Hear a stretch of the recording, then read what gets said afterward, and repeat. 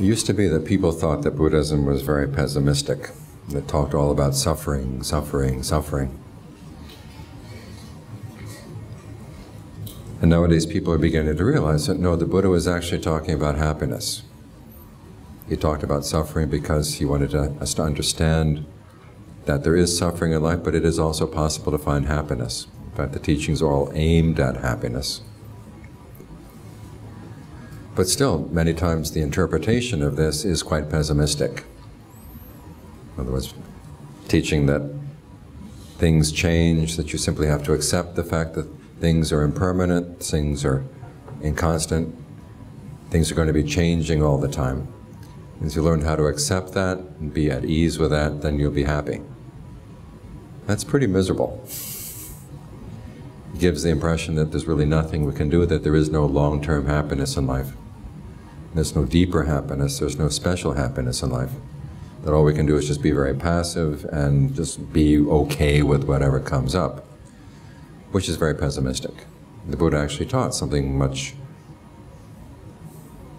higher and much of much greater value, which is there is a happiness that we can attain through our efforts, something that's special, something that's not dependent on conditions, and something that lies beyond just normal pleasures coming and going, but lies deeper in the heart.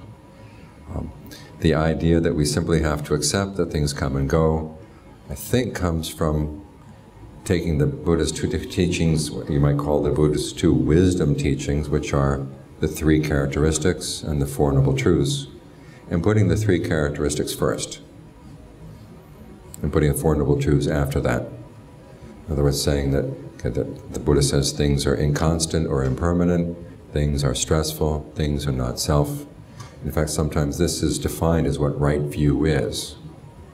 Um, when you accept these facts, and, and based on this interpretation, there are several conclusions that people come to.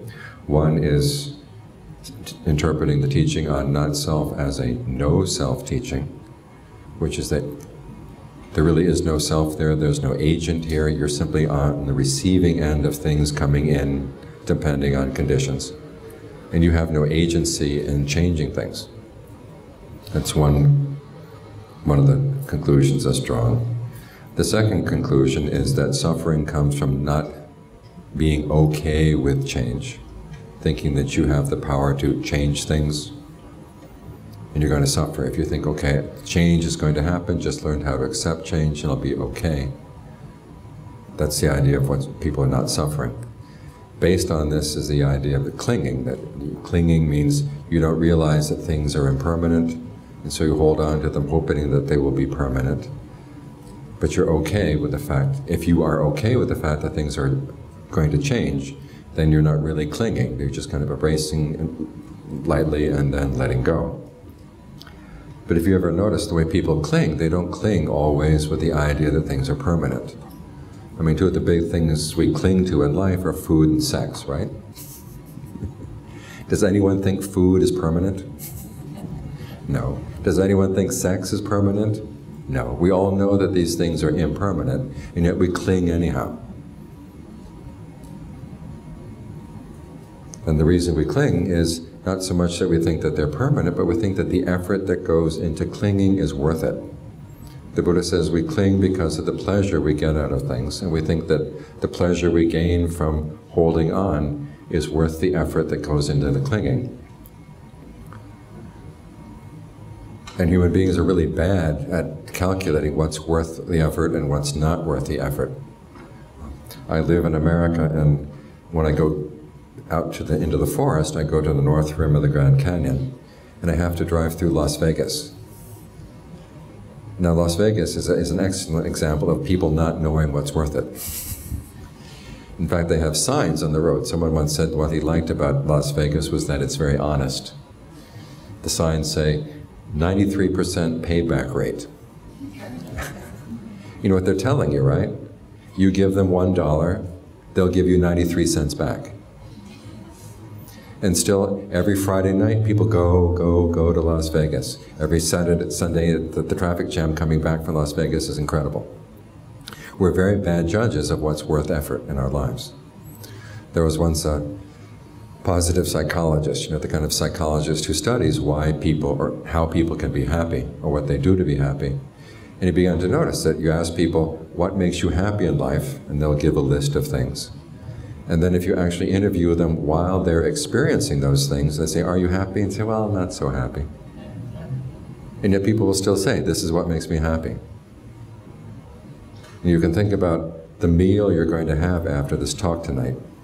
I mean, Singapore is a food haven. You know, you have the whole world available to you.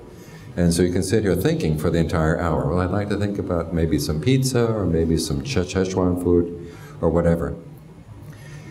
And you can enjoy thinking about these things for a whole, for the entire hour. Miss the Dharma talk entirely. And then when you go out, the eating is pretty short, right? It's very quick, quick, quick, quick, quick, and then, and then you go. Not much pleasure. And so this psychologist was saying, why is it that people are such bad judges of what makes them happy? And then he thought about himself. He liked to climb mountains. Now, if there's anything that's stupid, it's climbing mountains. You get to the top, and then you have to go down. and there's a lot of effort that goes into going to the top and effort that goes into coming down. And he says, while he was doing it, he realized he was actually pretty miserable. But he came back and he couldn't wait till the next time he would go climbing the mountain. So our clinging comes from bad judgment, basically. We think that something is going to be worth the effort, and yet it's not really worth the effort. And so what the Buddha is teaching us is basically to look at why we're clinging to things is not because we think that they're going to be permanent, but we think that the effort that goes into them is going to be worth it. And so the whole purpose of his teachings is not to just tell us to accept things as they are, but he says that the teaching is to figure out how to change our powers of judgment so that we become better judges of what's worth the effort. And this is what comes from, instead of putting the three characteristics first, we, we put the Four Noble Truths first. The Four Noble Truths basically are based on the realization that, yes, we are active in our approach to life. We don't just sit and receive things coming in. We are more active. And as the Buddha said, all dhammas are based on desire. Everything we experience in life is based on desire of one kind or another. Our sense of who we are, our sense of the world around us, is based on our desires. I'll give you an example. My older brother is an alcoholic. And one time he came to visit me at the monastery, and as we were driving from the airport into town, we went past the one place in town that sells liquor. Now, I had never noticed this place because I was not interested. As soon as we drive past, my brother says, Jeff, can I borrow the car tomorrow? I said, No. I've been his brother long enough, I know what he's thinking. but his world was different from mine. As they say, if an alcoholic goes into a house, they know very quickly where the alcohol is kept. If a monk goes into a house, they know very quickly where the dark chocolate is kept. our, our sense of the world is dependent on our desires. Our sense of who we are is also dependent on our desires. And what the Buddha is telling us with the Four Noble Truths is you have to look at your desires. Are they leading to happiness or are they leading to suffering? Now we all know that the Buddha says suffering is based on craving. He has craving for sensuality, craving for becoming, craving for not becoming. Sensuality is what I talked about just now, is thinking about sensual pleasures, our fascination with planning our next meal, our next trip, our next whatever the sensual pleasure is going to be. The problem is not the pleasure itself, the problem is our fascination with thinking about it. Again, you can think about tonight's meal for the whole hour and make different changes to what you're going to do, where you're going to eat it. The, the meal itself is not so much the problem, it's the amount of time that's put into thinking about it. As for craving for becoming, the word becoming basically means your sense of who you are in a particular world of experience. That's going to be based on a desire. And again, if you have a desire for a pizza, who you are is one, the person who will enjoy the pizza, and two, the person who has the ability to get the pizza. In other words, you as the consumer and you as the provider. That's your sense of who you are. And then the world around you is what is going to be helpful in getting the pizza and what's going to be getting in the way. And anything that's not related to pizza is totally irrelevant in that world. Once you've had the pizza, then the next, what's the next desire? Okay, you have other desires, and there'll be a different you and a different world. Now, sometimes you have conflicting desires at the same time, which is why we think we have conflict inside, and also have conflict in the world outside. But basically, this is what the Buddha means by the word, word becoming. And it's your sense of who you want to be and the world you want to have. That's that's a kind of craving that will lead to suffering. Then there's a craving for no becoming. You get into a particular sense of who you are and you don't like it. You want to abolish it. In this way, and then that's craving for not becoming. Now, the Buddha says we suffer because of these different kinds of craving, but not all craving is bad. The craving to gain awakening is actually part of the path. The craving to get rid of unskillful thoughts in your mind, the, craving to develop skillful thoughts in your mind, this is all part of right effort, which is part of the path. So what the Buddha is doing is, with the Four Noble Truths, is teaching us to look at our desires, realizing our desires are going to shape our sense of who we are, the world that we live in, and they can go in two very different directions either leading to happiness or leading to suffering. Now, when the Buddha explained this part of the Four Noble Truths, he came down with okay, the desire, the crave, the three kinds of craving. Those are the cause. The suffering that comes from them is the result. On the other side, the, the desire that's part of right effort leads to the end of suffering, and the end of suffering is the result. So you've got four noble truths. Now, out of those Four Noble Truths, each one has a duty. The duty with regard to suffering is to comprehend it. In other words, to understand it, to understand it so thoroughly that you finally don't feel any passion for it anymore. We don't think that we're passionate for suffering, but you look how people suffer again and again and again. They keep going back to things that make themselves suffer. There's a passion there. When the Buddha talks about craving he, he, and clinging, he's basically talking about our addiction to things that we've suffered from before, but we keep going back. So, so that's the duty there is to comprehend that, the fact that there really is suffering in that clinging, the things that we hold on to. The duty with regard to the cause is to abandon it. We see the craving arise, we should see it as something we should get rid of. These are activities that we have to do. Now, our problem with these two causes is these two noble truths is we usually get backwards. We think that suffering is our enemy, craving is our friend. And as Ajaan Suwat used to say, no, you've got it backwards. You have to see craving as your enemy and suffering as your friend. A friend in the sense that you want to get to know it well, to understand it. And then when you understand it, then, it, then you can go beyond it. But for most of us, we see suffering and we want to try to get rid of the suffering right away. That's the wrong duty. It's like going into your house, seeing your house is full of smoke, and you put out the smoke. If you don't look for the fire, you can just keep putting out the smoke, putting out the smoke. It's never going to end the smoke. The smoke is going to keep on coming. You have to find the fire. That's what you let go of. You let go of the craving. On the other side, you have the end of suffering, and the duty there is to realize that. You do that by developing the path. It's something you actually have to bring into being. So these are the four duties we have with regard to the Four Noble Truths. And when the Buddha taught the three characteristics, one, he didn't call them three characteristics, he called them perceptions, ways of looking at things. And the purpose of looking at things in these ways is to help with these duties for the Four Noble Truths. In other words, you see that they're suffering. You want to see that this is the suffering is something that's inconstant. Because it's inconstant, you want to perceive it as stressful. And when you can perceive it as stressful, you realize it's not worth holding on to as yourself. In other words, this is a value judgment. It's not worth clinging to. It's not worth holding on to. Should let go of it. Similarly with the causes of suffering you, you see, okay, these things lead to something bad, so you have to see them as inconstant, i.e., they're undependable. they're stressful, something that you should not identify with. You think of your mind like a committee. And this, these are members of the committee you don't want to identify with.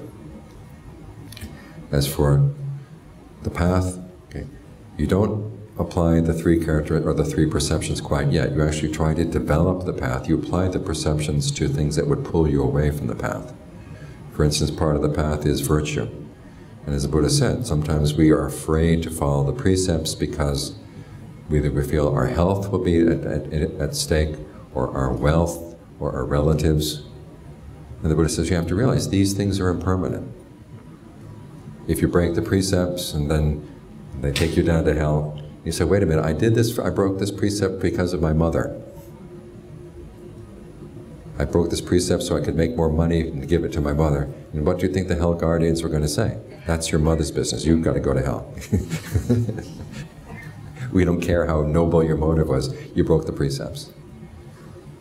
And so you say, even in cases like that, you have to say, I can't lie for the sake of my health. I can't lie for the sake of my wealth. I can't lie for the sake even of helping my relatives. You have to see these things as inconstant, impermanent, stressful, things that you cannot, are not really yours. Similarly, when you're practicing concentration, you apply the three perceptions to things that would pull you out of concentration. And things that would get in the way of your discernment. So you have to be skillful in how you use these three perceptions. So basically, it's important that you see, could the Four Noble Truths come first? These three perceptions come within the context of the Four Noble Truths. And so instead of just simply accepting things coming and going, the Buddha is saying, look at your desires. There are desires that will actually lead to the end of suffering. And the desire for awakening is a good thing. The belief that you can do this, that, that the Buddha calls actually a kind of conceit, I, other people can do this, Tan King can do this, why can't I? That's actually a skillful form of conceit, something that you should encourage. And so what we're doing here is not just simply accepting things and saying oh, it's okay, waves are coming in off the shore, good waves are coming, bad waves are coming, it doesn't matter, I'll just sit here and accept the waves. What's going to happen, of course, is someday the waves are going to come and boom, you're gone. And who knows where they're going to wash you up again. And the image the Buddha gives of the practice is not just sitting there accepting things, is there's a dangerous river you have to cross, but you can get across the river. And you do that by holding on to the path. And you by making an effort. You have to paddle with your hands and your feet. You have to make that effort. But there is a place of safety that you can get to. If you get up on the raft and say, look, I'm not holding on, what's going to happen? You fall off and get swept down the river. There's a teaching by Ajahn Chah. He says, you're coming back from the market, you're carrying a banana in your hand. And someone comes up to you and says, Why are you carrying the banana? He says, I'm carrying the banana because I want to eat it. He says, How about the peel? Are you going to eat the peel too? No. Then why are you carrying the peel? And then he says, What are you going to use to answer him? And his answer is comes in two stages. He says, First, you have to have desire. You have to want to give a good answer. In other words, your discernment is not going to come without the desire. You have to desire to give a good answer. And then, of course, the answer is the time hasn't come to let go of the peel. If I let go of the peel now, the banana would become mush in my hands. And it's the same thing as we practice the path. There's something we have to hold on to. Something that we have to hold on to. If you don't hold on to the path, your mind becomes mush. So you have to hold on to the path and realize that this is a desire that's actually a skillful desire the desire to follow the path is something you want to hold on to. As the Buddha said, wisdom comes from the question, what, when I do it, will lead to my long-term welfare and happiness? Now listen to that. What, when I do it, will lead to my long-term welfare and happiness? Okay. This is a question that he says gives direction to your desire. One, recognizing there is such a thing as long-term happiness. It's not just waves coming in and going away, coming, going away. Some pleasures are longer, some pleasures are shorter. Some pleasures are harmful, some pleasures are not. You want to look for pleasures that are not harmful, pleasures that don't harm yourself, that don't harm other people. You want pleasures that last. And it's going to depend on your actions. That's the second part of your of the wisdom. It's not going to just come washing up. It depends on what you're going to do. Your actions make all the difference. That's what wisdom starts with, was that realization. And the first level of the Buddha's answer to that question, what, what I do what will lead to my long-term welfare and happiness, is making merit. Other answers also include practicing the path, developing concentration, developing discernment. But tonight I'd like to focus on making merit, because sometimes people look down on making merit. They say that it's for people who are not serious about the practice, people who are just grubby and selfish, they just want to make merit so they can win the lottery the next time. Does that happen in Singapore? Do you have a lottery? At Wat Metta, we have five casinos around the monastery. We're in an area, there are lots of Indian reservations, and in America, if you have an Indian reservation, you can build a casino.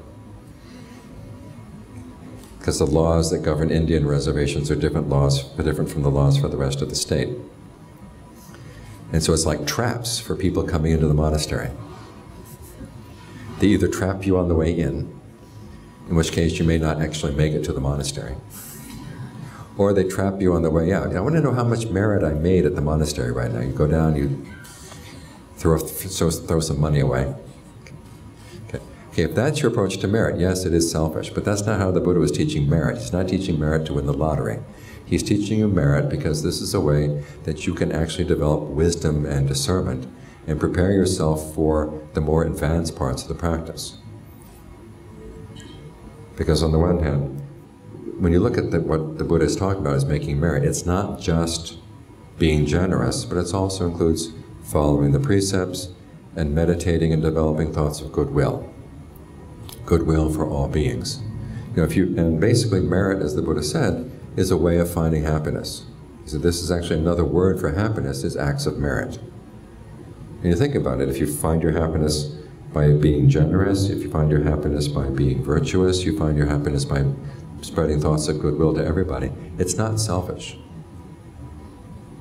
It's actually a kind of happiness that breaks down boundaries between yourself and other people, because when you're being generous, you benefit, other people benefit too. When you're being virtuous, you benefit, other people benefit too. When you practice goodwill, you benefit, other people benefit too. So this breaks down boundaries. If you find your happiness in things like wealth, status, praise, sensual pleasures, okay, that actually creates divisions. I mean, if you gain wealth, somebody else loses. You gain status, other people lose. You go around get, trying to get praise for yourself, other people are going to be jealous. That creates divisions. So if you're looking for happiness through merit, is actually an unselfish way of practicing. Now the Buddha, of course, recommends that you practice all three kinds, not just being generous, because you do just being generous or just observing the precepts, there are dangers.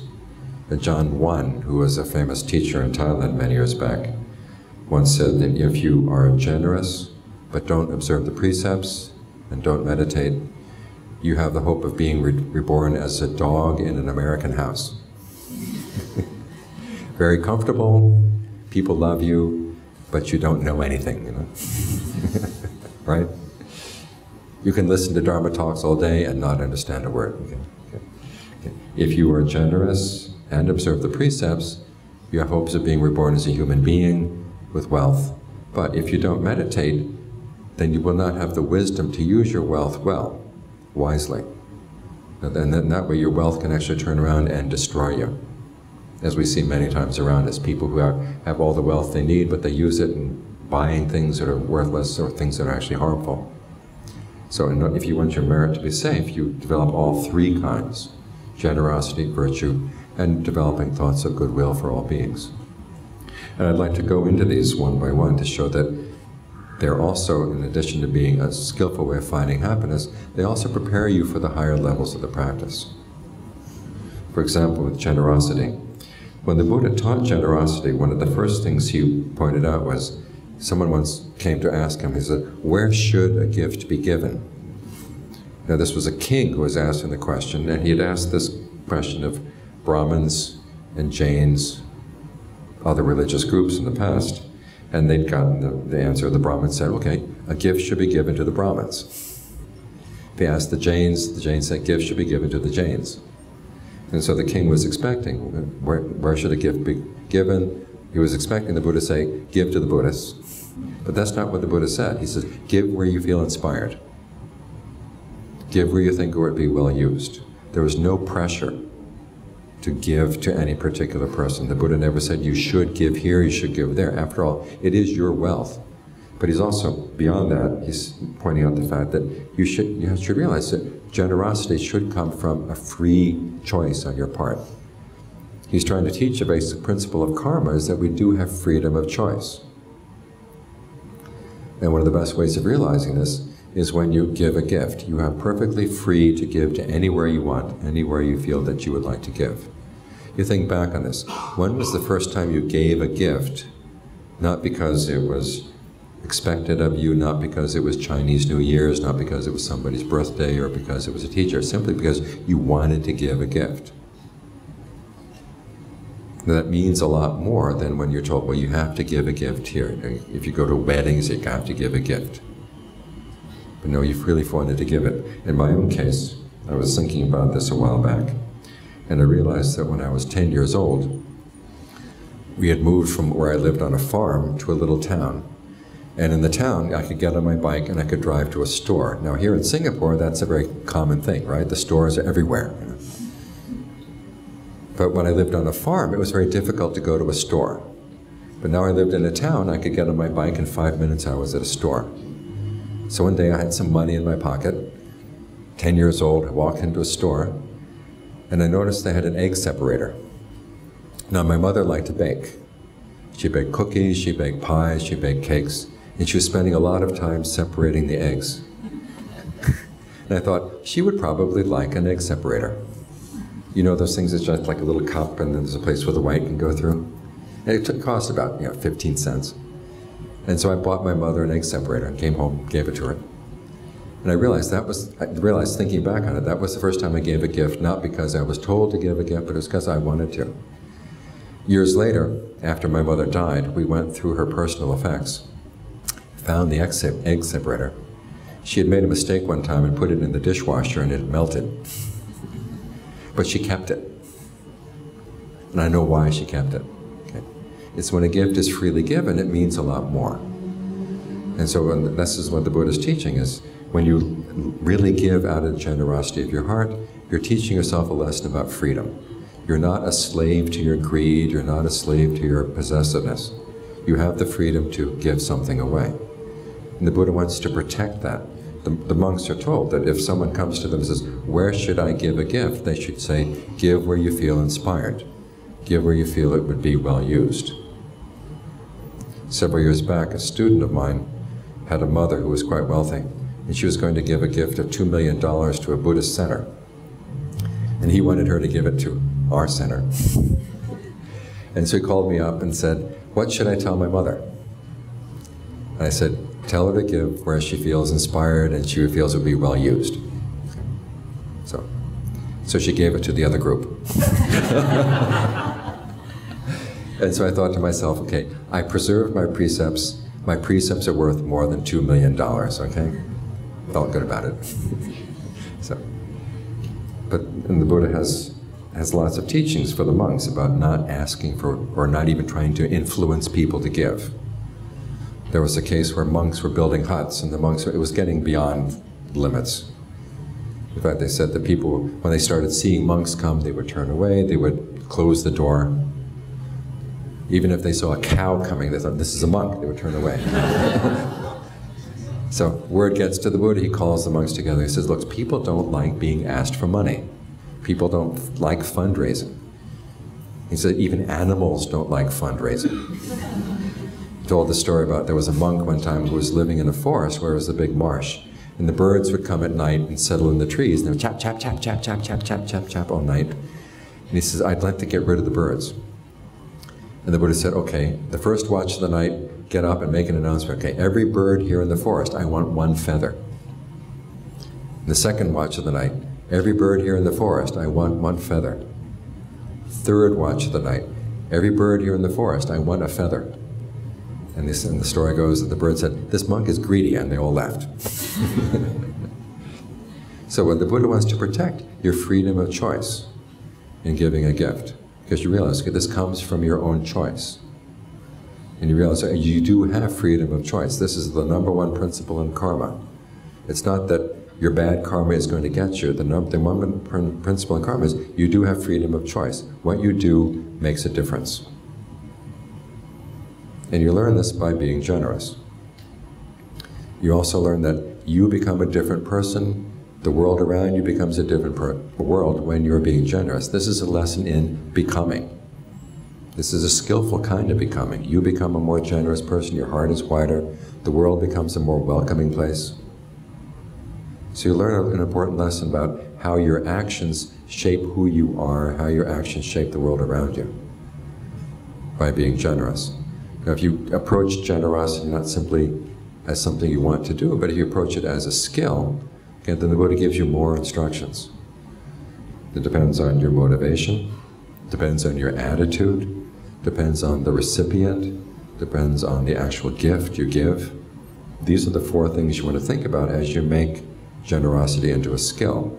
In terms of your motivation, the Buddha said the lowest motivation is if I give this gift, I'm going to get it back with interest. okay. okay, it's a good motivation. It's the, it's the lowest, but it still counts as a good motivation. It's better than not being generous at all. Okay.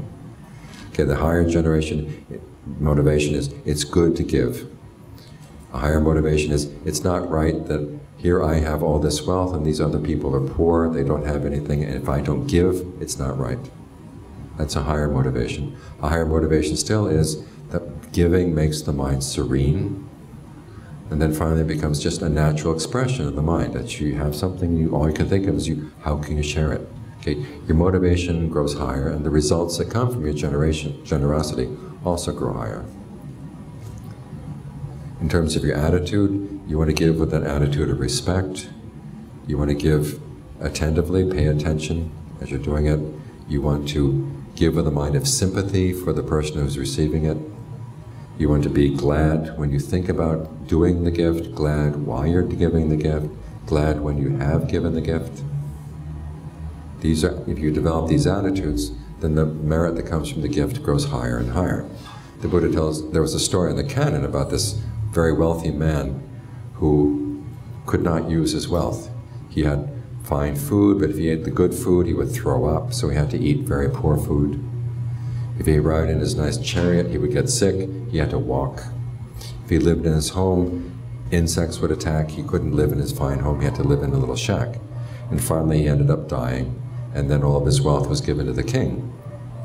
And the Buddha said, in a previous lifetime, he gave a gift to a private Buddha. But then after he gave that gift, he said, gee, I wish I didn't do that, hadn't done that.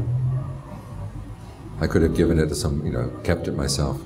Okay, the gift meant that he was going to become wealthy, but the fact that he regretted the gift meant that he could not enjoy his wealth. So when you give, try to be happy while you're doing it, before you do it, after you do it. That way you get the most benefit out of the gift. As for the gift itself, you want to give something that's timely, that people can actually use. Like here in Singapore, you know, in America, they like to give knitted caps to the monks because it's cold. In Singapore, I don't think you need knitted caps. it's not timely in Singapore. And also give a gift that doesn't harm yourself or harm other people. In other words, you don't break the precepts. You don't steal something to give, or you don't cheat in order to give. You give something that you have earned in a fair way. And then, of course, with the recipient, you try to find a recipient who would make good use of the gift. The Buddha recommends someone who is either without greed, aversion, and delusion, or someone who is working on the path to get rid of greed, aversion, and delusion. You look for people like this, it's more likely that you actually will be happy when you've given the gift. If you give it to somebody who's greedy, then you realize that they abused it, then you don't feel so glad afterwards. So look for who you think is an appropriate recipient. Now again, the Buddha doesn't say you have to do this, but He says, if you want to be more skillful in giving, you think about your motivation, you think about your attitude, you think about the appropriate gift, you think about the appropriate recipient. Now, as you approach gift giving in this way, and, it, and the gift doesn't have to be a material thing. You can give your wisdom, you can give your knowledge, you can give your energy, you can give your time, you can give your forgiveness. This is often the hardest in the bunch, but it's also the most meaningful.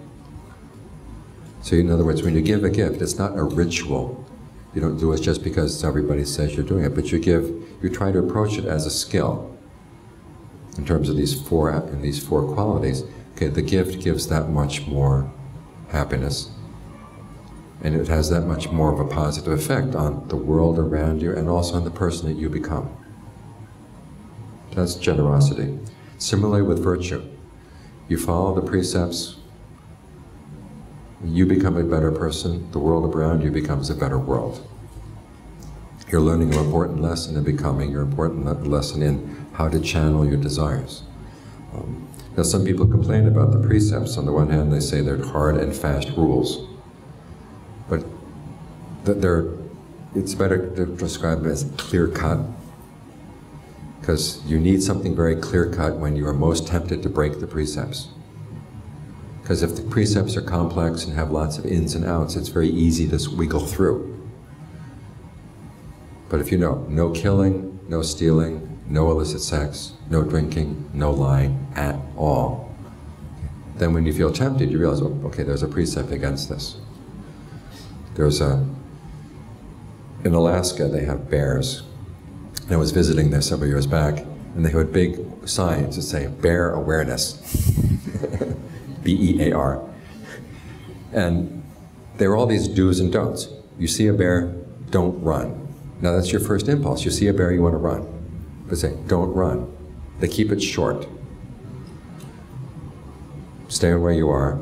Raise your arms so you look bigger. The bears have very, very bad eyesight, so you look big when you raise your arms.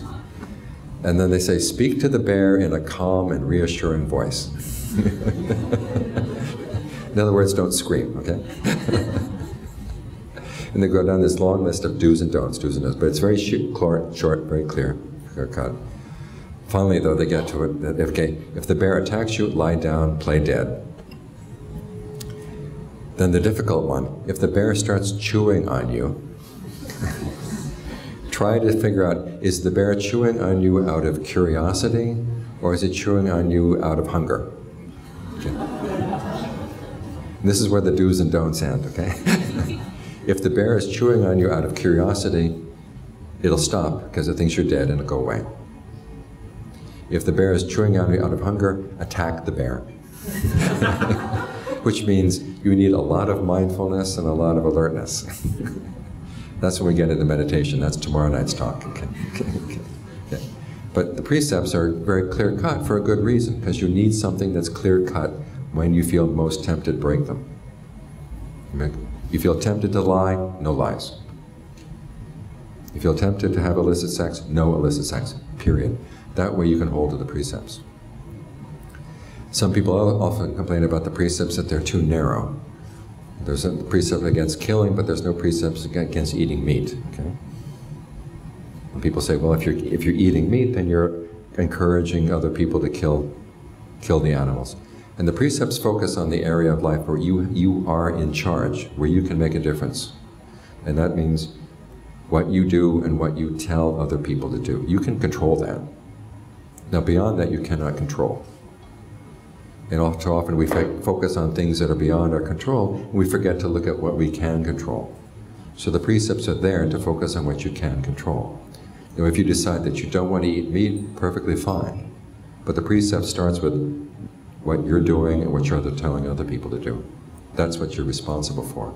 And again, that's focusing yourself back on Okay, the way I shape my, my life is shaped is shaped by my intentions, my desires. I am responsible for those. At the same time, the precepts teach you qualities like mindfulness, alertness, ardency, which are all part of mindfulness practice. Mindfulness means you have to keep the precept in mind. You have to remember, I have this precept. Alertness is you have to be alert to what you're doing.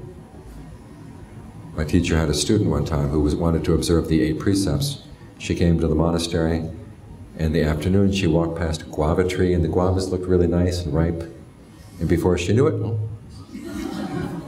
my teacher was standing just a few yards away. He said, Wait a minute, what's that in your mouth? And she realized, oops, I wasn't paying attention. Okay, that's a lack of alertness. So the precepts require that you be alert what you're doing right now. And the ardency is something you have to make the effort. Because sometimes there's a really strong temptation. You, know, you say, well, I can just a little white lie and it'll be okay. No. You have, that means you have to figure out how can I not say things that give harmful information to someone else, but how can I also not lie at the same time? This is where the precepts develop alertness and ardency and also your discernment.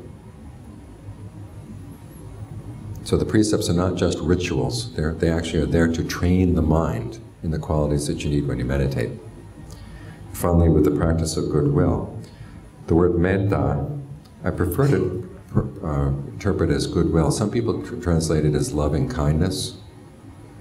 And it's based on, there's a passage in, in the canon where, the, where it's sometimes translated that says, just as a mother would cherish her child, only child, in that way you should cherish all living beings. That's not what the Buddha said. The Buddha says, just as a mother would protect a child with her life, in the same way you should protect your attitude of goodwill. You protect your goodwill at all times. This means you don't have to like the other person. If you're going to have goodwill for snakes, you don't want to go up and pet the snake. The snake probably wouldn't like it. right? My teacher had a snake move into his room one time. And he decided, okay, this is a test for me. So he lived with the snake for three days, spread lots of goodwill to the snake. But then after the third night, he said, okay, three days is enough. And so in his meditation, he addressed, addressed his thoughts to the snake, and he said, okay, it's not that I have any ill will for you, it's just that we, we are different species, and it's very easy for spe different species to misunderstand one another. There's plenty of space out there in the forest we can be happy. And so please find some other place to go. And so the snake left. Now that was goodwill. It's not loving kindness. You don't go up and pet the snake. But it's goodwill for the snake. You wish the snake's happiness. Now, the practice of goodwill, you have to realize, is something, one, that you have to do, and, and it's also related to the teaching on karma related to what you're wishing for the other person. In other words, you're wishing goodwill for your own sake. It's not because we're one with everybody or everybody has Buddha nature. We wish goodwill because we want to make sure that our actions are going to be skillful even in very difficult situations. So you have goodwill for people you don't like, you have goodwill for your boss. if you're going to have a difficult day with a boss, think thoughts of goodwill first so that when you go in, you don't say something harmful to the boss, okay? or whoever the person is that you don't like. It's for your own sake that you're extending thoughts of goodwill. Secondly, it is something you have to develop. Goodwill is not innate, or if it is innate, it's just as innate as ill will. We can feel ill will just as easily as we can feel goodwill, sometimes easier. And so remember, you have to realize this is something you have to work on. This is a quality I have to develop.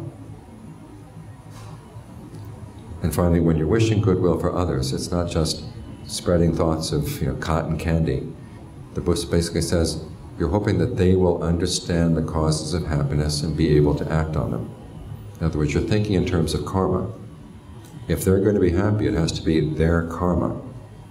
So what you're wishing for is, you know, may this person understand the causes of true happiness and be able to act on those causes. And that's a thought you can have for anybody no matter how evil, no matter how bad they've been in the past, whether they've hurt you or hurt people you love, or you can think of any number of politicians. When I'm speaking in America, everybody laughs at that. Um, that you might think of the, I don't, it, I don't really like this person, I don't like their policies, but you can wish, okay, may this person understand the causes for true happiness and be able to act on them. You can think that thought without hypocrisy. And so when you're developing goodwill in this way, you're developing insight into the principle of karma. You're developing uh, insight into your own mind. That your mind has these potentials that you have to develop. You have desires that go in different directions. You have to be careful about which desires you're going to follow. So when you're developing generosity, you're developing virtue, you're developing goodwill, you're learning some very important lessons about how your desires shape the world in which you live, how your desires shape you. And by acting on skillful desires, you become a better person, the world around you becomes a better world. In America, I don't know what the attitude is in Singapore is, but in America, people don't like the word merit. Do you have Boy Scouts and Girl Scouts in Singapore? In America, it sounds like a Boy Scout, Boy Scout badges, brownie points, Girl Scout badges. I think maybe a better word to translate merit would be goodness. You're developing your goodness. You're developing the goodness in the world. Now, unfortunately, this is a word we don't hear much. How many times do you speak about someone's goodness? How many times do you speak about your own goodness? I tried an experiment one time. I got onto Amazon.com. I very occasionally go on, on online. And in the box for search, I typed in goodness to see what would come up. And it was all books on cakes and pies and cookies. That's goodness in the modern world. Okay? Okay, now the Buddha is saying there's a much greater goodness. It's the goodness of your own heart, which you develop by developing the principles of merit, by being generous, by being virtuous, by developing thoughts of goodwill. You are developing your goodness. You're, you're gaining an insight into how your desires shape your life. You're gaining skills in mindfulness, you're gaining skills in alertness, you're gaining skills in ardency, all of which are going to be useful as you go further and further in the path. So what this means, is if you bring the right attitude to the practice of merit, it's not just a ritual, it's not just a selfish way of trying to get ahead. And it's not for people who are not serious. It's for everybody who's serious about the practice. You should look at your, at your virtue. You should look at your generosity. You should look at your goodwill. As the Buddha said, if a person is stingy, there's no way they're going to get into right concentration. There's no way at all they're going to get awakening. So everything begins with the practice of merit. So don't look down it, but have the right attitude as you go about it, realizing that we live in a world not where the waves are just coming and going, coming and going. We're shaping the world by our desires. And we have it within our powers to make ourselves, maybe, maybe we can't affect the world outside that much, but the world that you live in, the world that you, and the person that you are, is something you can shape in the, in the right direction.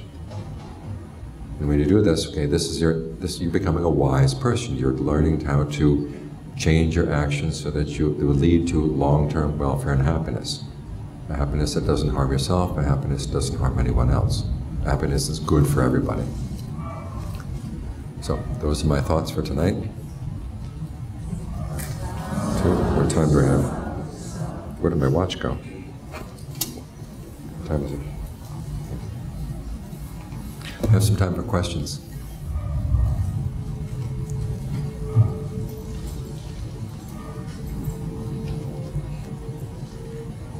Does anyone want to raise a hand first, or we have to wait for the written questions? Anyone with questions, uh, you wish to, you can just raise your hand and ask. Or you wish to write it out, uh, you do have some paper behind. Um,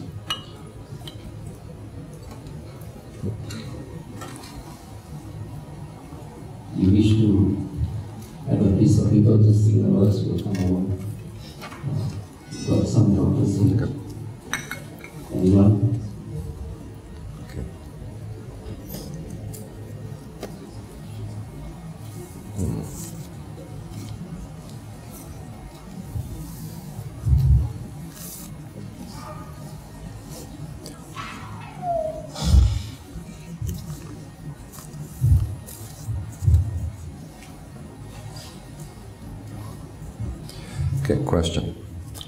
time has to be devoted to many seemingly unending duties to my parents. Dealing with old parents can be very frustrating sometimes. I have no time for myself. How can I overcome this dilemma? Okay, one, realize that the duties to your parents are not unending. Either you'll die first or they'll die first. and when you separate, you want to be able to look back at your time with your parents and not have any regrets. So think of it as a form of generosity. Here's some. There's a way that you can give of your time, that you can give of your energy, and give to your parents. Now, while you're being generous and while you're with your parents, okay, this is a good time to stay with your breath. Try to de- develop a sense of well-being inside as you're following the duty. And that way you can be practicing mindfulness at the same time that you're practicing generosity with your parents. My parents seem to be dealing with old parents can be very frustrating. when you were a child, do you think you were not frustrating? okay. Okay.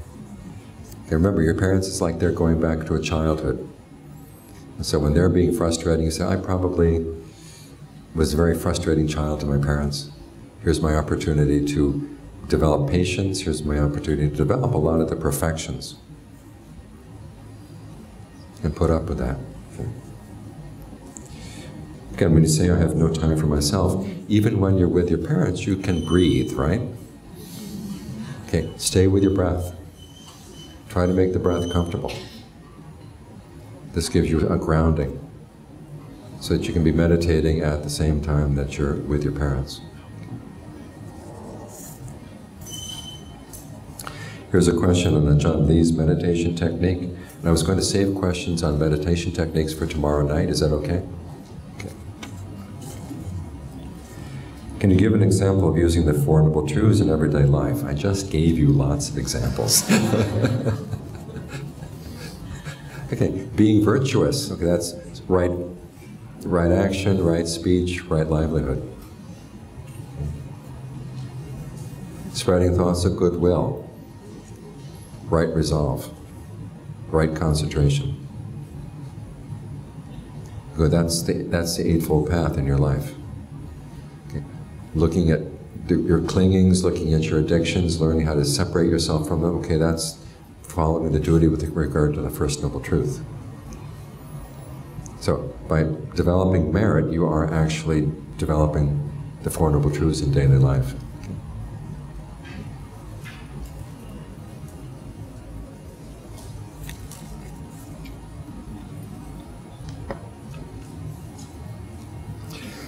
How do we eradicate anger in this modern world that is full of anger and lay down our burden?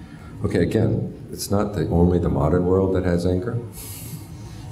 They had it in the ancient world as well. The problem is that just we're, we're attacked by so many more people's anger. And so you have to realize again, their anger is their anger. You do not have to pick up their anger. Remember, their anger is their, their karma. If, if you pick it up, there's the, the simile, someone throws a hot coal at you. Okay, if you pick it up to throw it back, you burn yourself. So I'll go into more of this on Sunday night when we talk about learning how to overcome unskillful, unskillful attitudes in the mind. But we have to realize it's one, when you turn on the internet, do you have to? That should always be your first question. Uh, Ajaan Fuang used to say, before you speak, ask yourself, is this speech necessary? And the same principle applies to turning on the internet. Is this necessary? Because so much we pick up of other people's greed, aversion, and delusion comes from the fact that we're connected. We're online. And so try to reduce the amount of time you spend online to only what's absolutely necessary. So you're picking up less of other people's anger.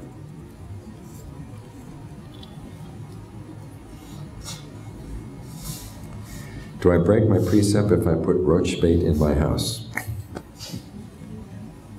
Roach bait. Okay. okay.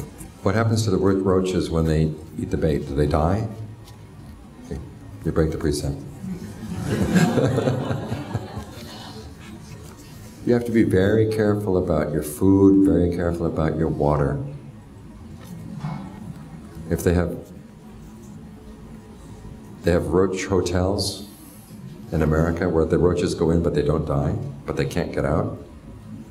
So get a roach hotel. And then you can take the roaches down to the park. Find some way of getting rid of the roaches without killing them.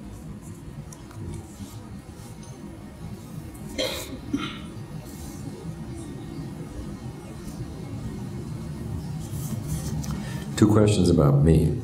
What made you decide to become a monk? I was suffering.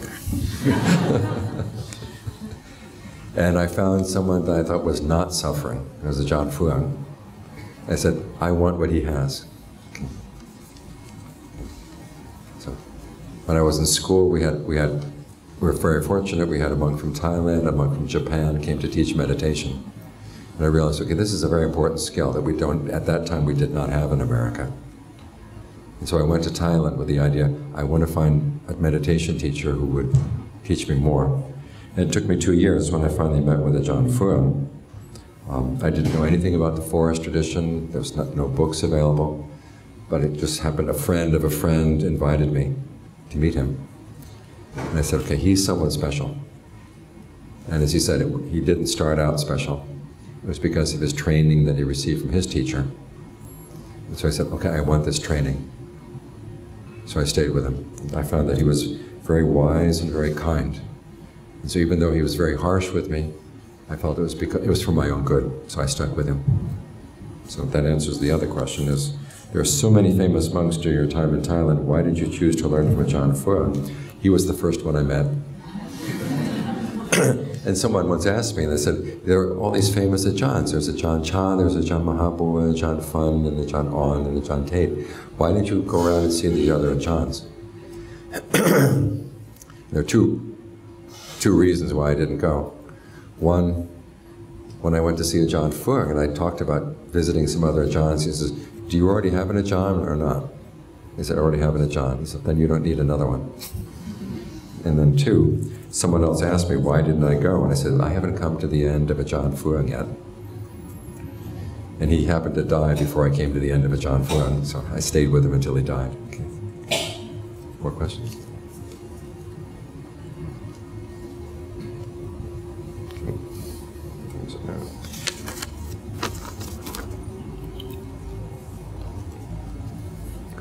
What is the Buddhist take on mental illness?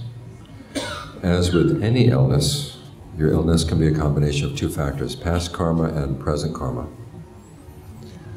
Now, if it's a factor of present karma, you're basically try to change your activities.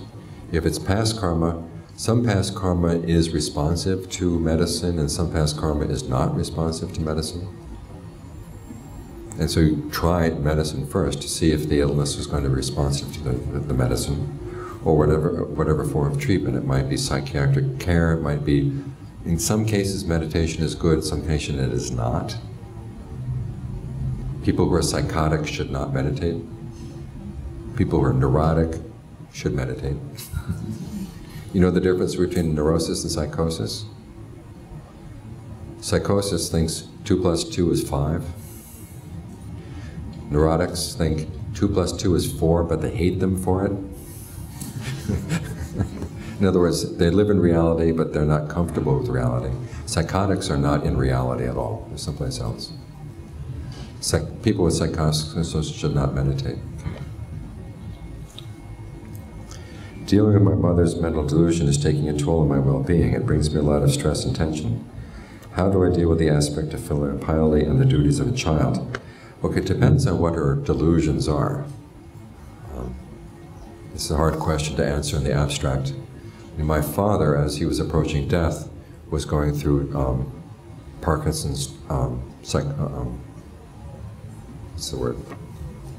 Dementia, Parkinson's dementia. And you know, he said, you know, there's this black dog in the living room.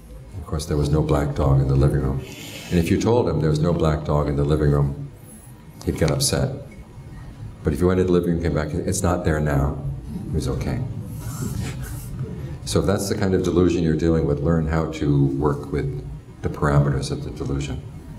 Um, if the mother is very negative all the time, just think goodwill, goodwill, goodwill for your mother. And do what you can. I've found, I don't want to brag, I've been told that my voice is very calming. And so you can take some of my Dharma talks and put them on in the background. You kind of calm them down.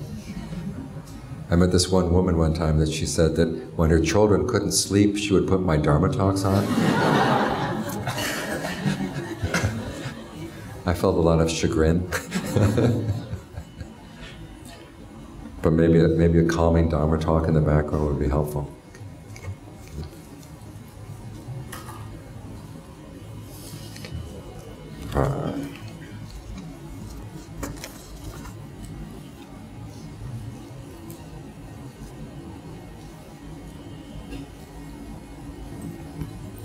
How can a person develop goodwill for oneself?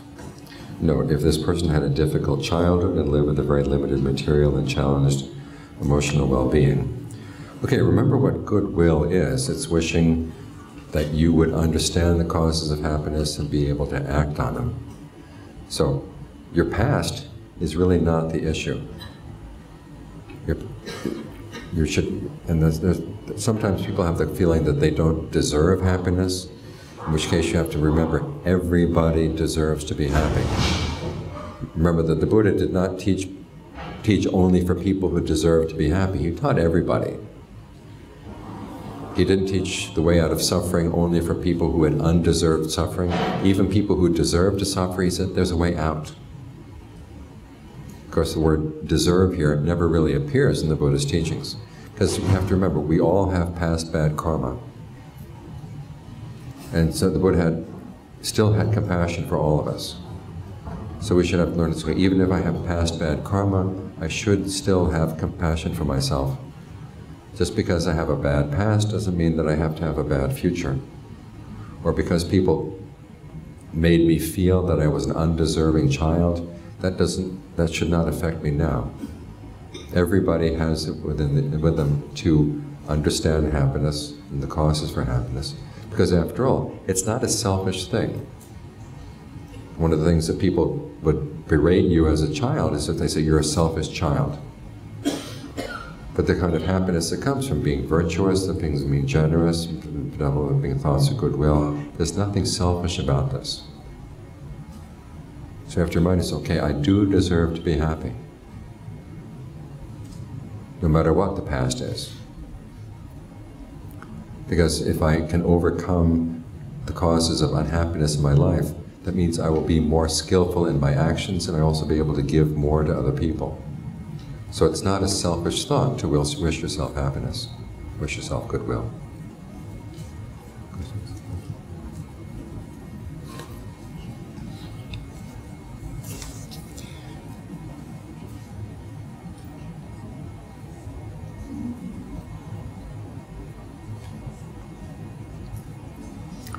Do you have any advice on how we can continue to follow the path? I always feel reminded and much better after listening to Dharma talks, or if I read Buddhist literature, but then I get busy with work, family, etc., and stray from the path.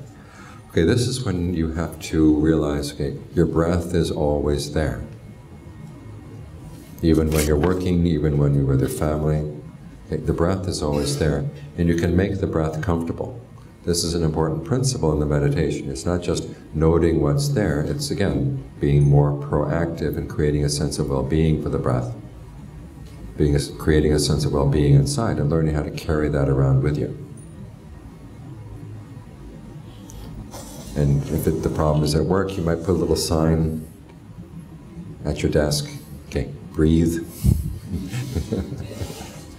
put signs around the house.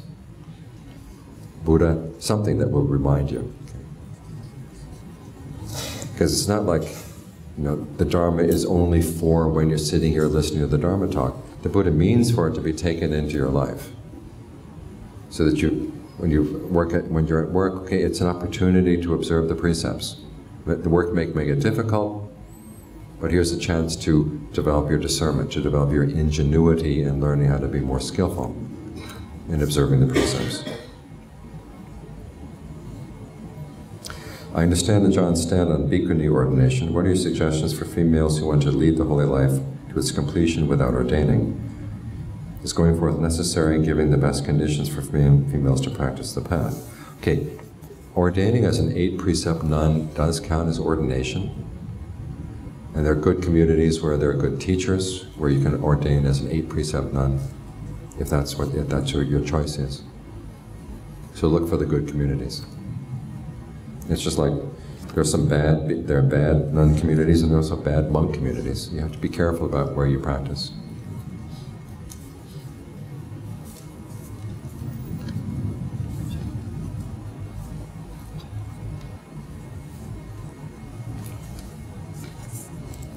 I can accept many things the Buddha taught, but when it comes to heavenly beings and their stories, for example, horses in heaven, it is hard for me to accept what accept, bring to accept. What do you think?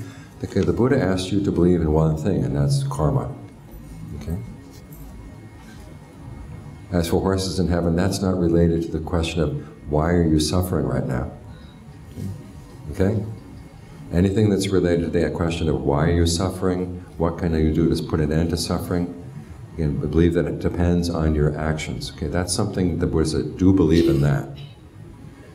Because the principles of karma are not anything he can prove. He cannot prove freedom, your freedom of choice. He cannot prove that your actions have results. But he says, if you assume this, you will be more likely to act skillfully. If you assume this, then you will be more likely to benefit. So that's where he asks you to believe. And this is for horses in heaven. I, I forgot that there were horses in heaven. so don't let the horses trip you up, okay? Ah. Please explain dependent origination in simple language.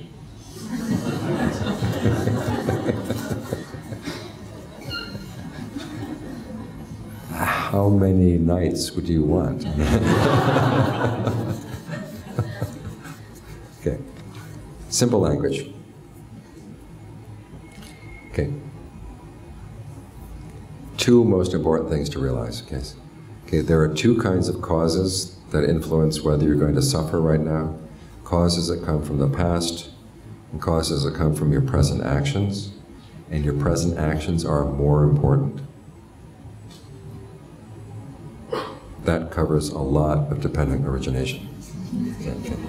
Two, when you look at the list of dependent origination, sensory contact comes in the middle.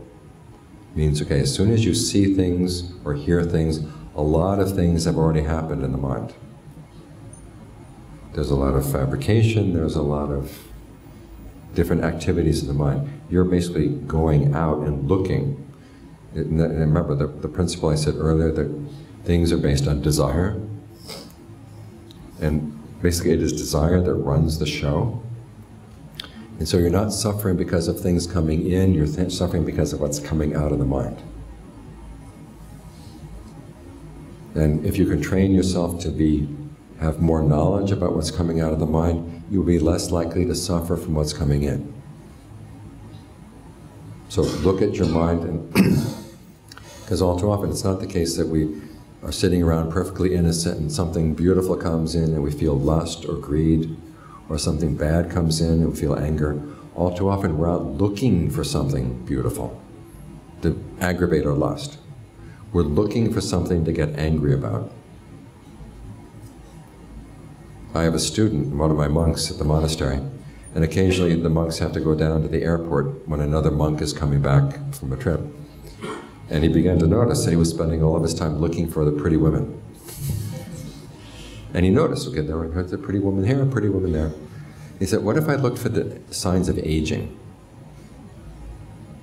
And so we went to the, went to the airport that day and said, okay, I want to see the signs of aging. Where are the wrinkles? Where is the white hair? Where are the bent over people? And he saw they were everywhere.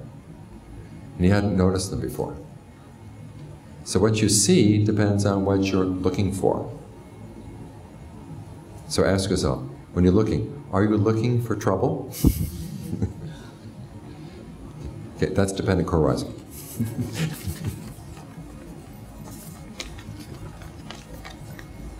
Last question. If a person is psychotic and he can't meditate, what can he do? He can be generous. He can learn to follow the precepts. Because it's in being generous and following the precepts. The reason people are psychotic is there are things in their personality that they feel really bad about and they just try to deny them. And so by training them in generosity, training them in virtue, it gives them more to feel good about. It's like having more good members of the committee And as you get more good members in the committee than the bad member, then you can begin to admit, oh yes, there's some bad members in here. So it strengthens your self-esteem. So there's still plenty to practice. Virtue, and generosity, still, it's still a lot of the practice. It's possible. Okay, it's nine o'clock. It's been a long night. Okay, thank you for your attention.